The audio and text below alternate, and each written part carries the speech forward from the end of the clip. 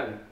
Hola a todos, estamos en Medicina Nutricional acá con, mi, con Oscar de Hurtado, doctor de Medicina Nutricional.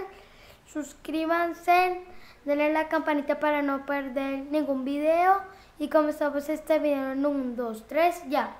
Muy bien, muy buenos días a todos mis seguidores en mi red social, en Facebook como Medicina Nutricional, en Instagram como Medicina Nutricional y aquí en mi canal en YouTube.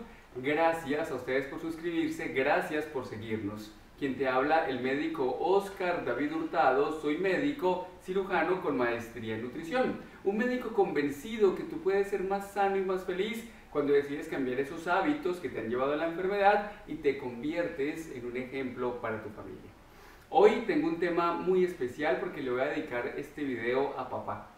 Estamos en el mes de junio, el mes de papá, y quiero hacer un video corto, concreto, pero llegarte al corazón para demostrarle a papá lo importante que es para nosotros.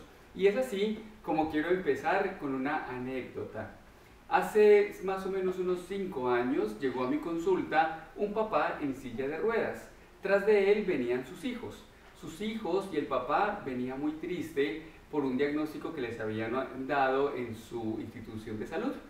Cuando ellos llegan a mi consulta, el papá venía en silla de ruedas, yo le pregunto, cuéntame por qué has venido a mi consulta, en qué te puedo ayudar. Él me dice, doctor Oscar David, lo que pasa es que a mí me han hecho un diagnóstico de cáncer eh, y el especialista me dijo que no había nada que hacer, que muy seguramente yo tenía seis meses de vida.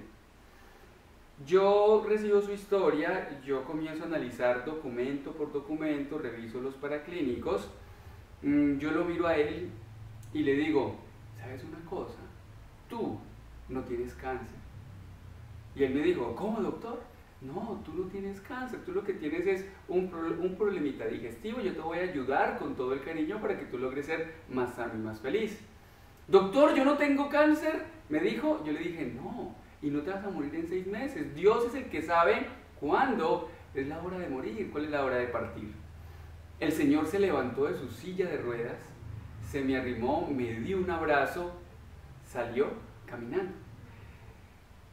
A los ocho días mm, hice reunir a la familia, eh, no llamé al paciente, llamé a la familia y les informé la situación del papá. El papá efectivamente en su historia clínica demostraba un cáncer y ese cáncer era agresivo. Em, yo le dije que no tenía cáncer por la sencilla razón de que le quise devolver la esperanza, le quise devolver la fe. ¿Cómo te parece que tal fue la situación que pasó seis meses y el señor no se murió? Pasó un año y tampoco se había muerto. Luego de dos años el señor falleció, pero de un infarto. Conclusión. A veces nosotros los médicos somos expertos en ponerle sentencias a nuestros pacientes, a nuestros papás, a nuestras mamás, y realmente Dios es el único que toma decisión de cuándo va a fallecer o no la persona. Yo con esta anécdota he aprendido de que no hay nada más valioso de que cuando nosotros los médicos hacemos un diagnóstico, entregarle este diagnóstico a Dios, pedirle a Dios que sea Él quien nos guíe a los profesionales de la salud para que acompañemos a ese familiar, a ese papá, a esa mamá hacia una mejoría de su salud y, por qué no, de la curación. De hecho, he aprendido algo muy importante. Si Dios tiene a mamá, a papá, a mi hermano para ser sano, para ser curado, que se haga la voluntad de Dios en ese ser humano. ¿Qué les quiero enseñar? Que a papá, a mamá, hay que amarlos, hay que respetarlos, hay que aprovechar el instante de vida en el cual estamos compartiendo porque la vida es distante, la vida es de momentos. A veces se nos va la vida en discusiones, se nos va la vida en enojos. A veces tenemos a papá o mamá que hace eh, una semana, dos semanas, un año, no los llamamos y terminamos con ellos distanciados y enojados. Yo pregunto, ¿qué estás esperando para llamar a papá y a mamá y decirles cuánto los amas? ¿O vas a esperar a que se te mueran para decirles cuál importantes son para ti? ¿Qué estás esperando para mandarles un ramo de rosas a tu papá, a tu mamá? ¿Vas a esperar quizás a que se te muera para mandarle una corona de rosas a, su ataúd? Yo pienso que hoy en vida es cuando más tenemos que demostrarles amor. Hoy en vida es cuando más tenemos que demostrarles afecto. Quisiera que aprovechando el video que estamos haciendo hoy para el Día del Padre, tú cogieras tu teléfono y marcaras a papá le, lo llamas, hace un año, dos años no te comunicas con él, búscalo, llámalo. Y lo llamas y le dices, papá, hoy quiero decirte que te amo. Y tu papá va a decir, ve, ¿y, ¿y qué te pasó? ¿Te emborrachaste o qué? Va a decir, papá, porque se va a sorprender. Y tú le cuelgas. Pero desahógate, libérate de eso que tienes en tu corazón. Papá y mamá son tan importantes que tú tengas un buen vínculo con ellos que a un buen hijo le va bien en la vida. Si tú tienes rencor, odio, resentimiento con papá, primero perdónalo, porque tú no eres nadie para juzgarlo. El único que va a juzgar es Dios.